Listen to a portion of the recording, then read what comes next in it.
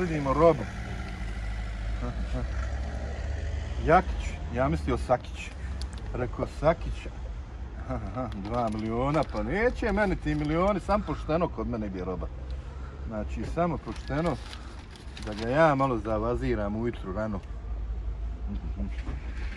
Ovdje kada do Njemačke dođe do Mađarske. Halo Miran, budi Mađarska. Moj mi Mađarski kad nisi do, gore do, do, do Tarčina i Pazarća. Halo, mirni budite. Ču meni po, pošao mi je ukat ovdje.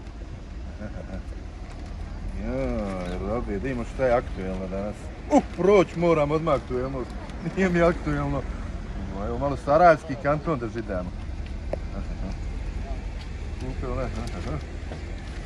Joj, vid križarke imamo. Joj, šta sam ih pokrižao na jednom mjestu, ne dao mi Bog više nikad. Joj, ja sam ih križaro, he, ovo sam na pamet znao ispuniti. Okay.